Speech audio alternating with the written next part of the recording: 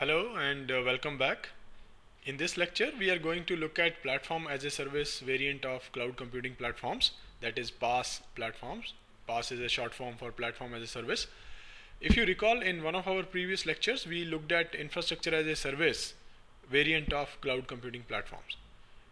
One of the major uh, goal of infrastructure as a service platform is to address the issues that we face while working with the regular physical computing environments.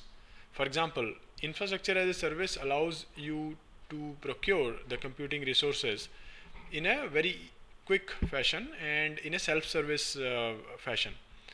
Even though infrastructure as a service platform provides a lot of flexibility in terms of uh, very low level control on the infrastructure that you obtain, but still maintaining the operating system and other software and configuration is the responsibility of the cloud consumer in such cases. In several scenarios, this may be undesirable. For example, if you are a small to medium enterprise or an individual developer who is trying to uh, prototype some business idea, you may not want to set up the underlying infrastructure and maintain it yourself because you may not have the resources and energy and uh, uh, uh the the money to to spend on such tasks whereas you want to be able to quickly prototype your idea let's say. So it will be nice if somebody else manages all the underlying infrastructure for you and you can focus mainly on your own task of developing and designing the application. So this is the area which is targeted by PaaS platforms. And in this lecture we are going to look at uh, several aspects of it in the subsequent files Okay, so let's look at some of the details about platform as a service.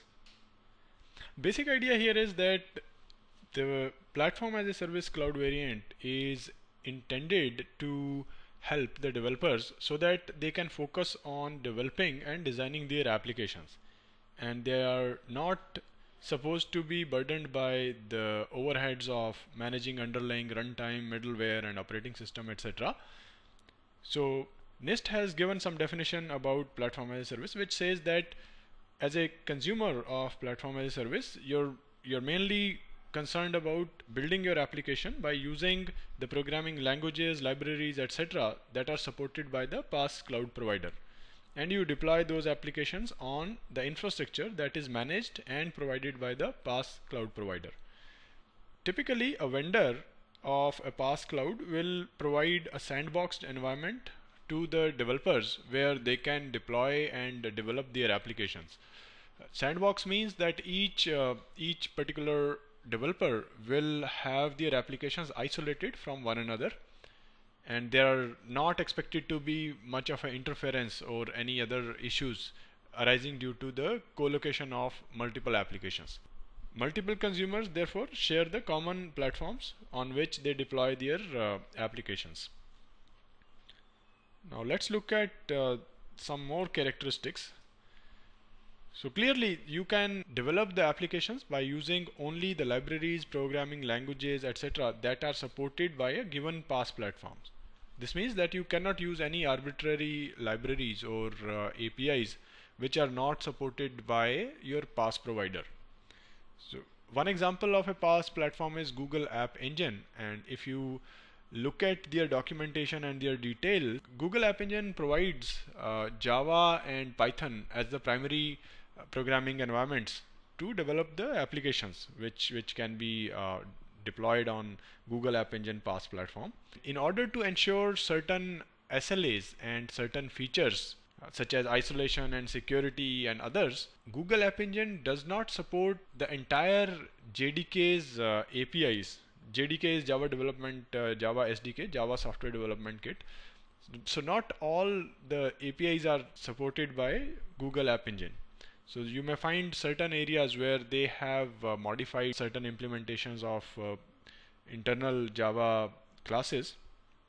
So it may happen that if you developed some piece of software using Java programming language and it worked on a standard JRE, it might not work on a Google App Engine PaaS platform. So in that sense, uh, you may have some kind of issues arising due to such cases. Also, you may not have much control on the underlying computing infrastructure.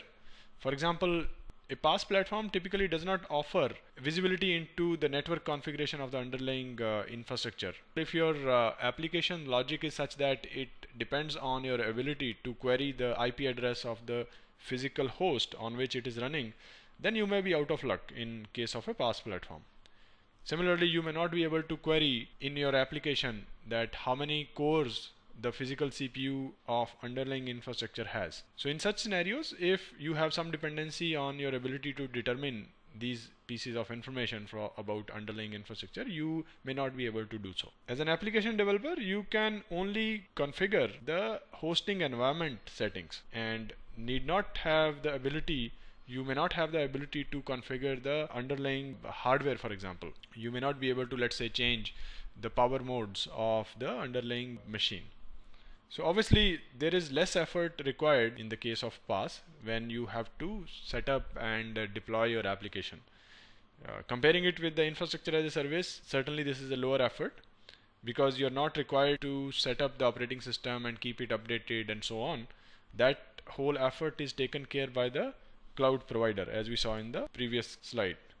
So just to highlight this whole thing is managed by the vendor for you. You are not responsible for making sure that this underlying infrastructure scales and is secure and so on these things are provided to you as a service okay but this obviously comes as a the cost of flexibility in certain cases you may certainly need more flexibility to have greater control on the underlying uh, infrastructure for those kind of scenarios it's better to go for infrastructure as a service let's look at the architecture of a platform as a service cloud so we have three parts of this diagram. You have the user's perspective, you have the developer's perspective, and then you have the perspective from the cloud provider.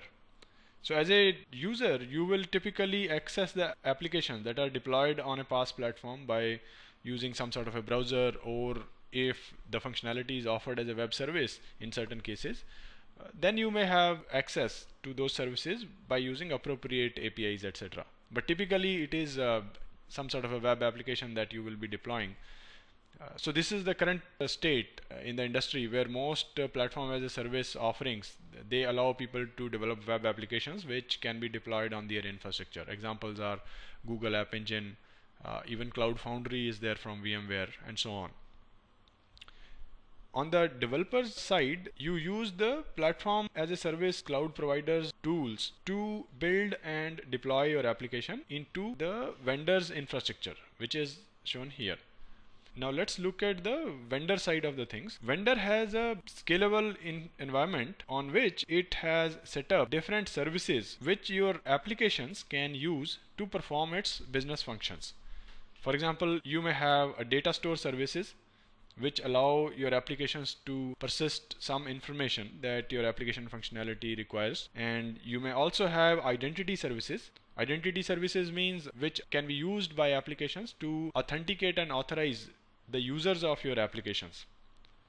And similarly you may have several other services such as uh, messaging etc so these are the services which are implemented as separate components and are available to the PaaS applications. And then it may also offer certain application runtimes which may support uh, different programming languages. This runtime is where your application is actually deployed. And when you code your application, you use a particular supported uh, programming language and its supported set of APIs. And using that particular language, you will be making use of the services that are offered here in the lower layer here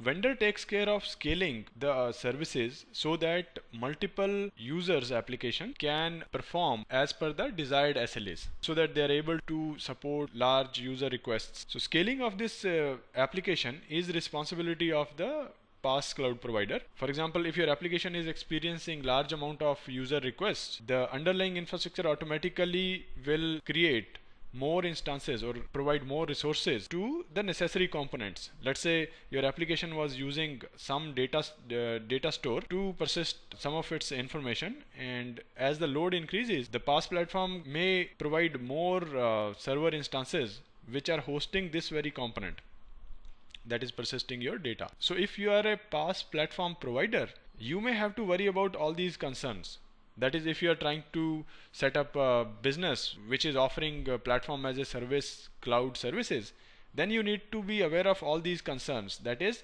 how do you scale your services which you provide in your platform as a service cloud? And how do you make sure that still different users applications are provided appropriate level of isolation and so on? So these will be typically the concerns of somebody who is looking to provide platform as a service cloud but from the developer standpoint all you worry about is your own functionality that your application is intended to provide and not worry much about the underlying uh, uh, infrastructure. In the next lecture, we are going to look at an example PaaS platform. A leading example in the industry today is Google App Engine. So we will look at uh, some of the services that Google App Engine offers and a uh, little bit about its internal architecture. We will go over those details in the next lecture. Thank you.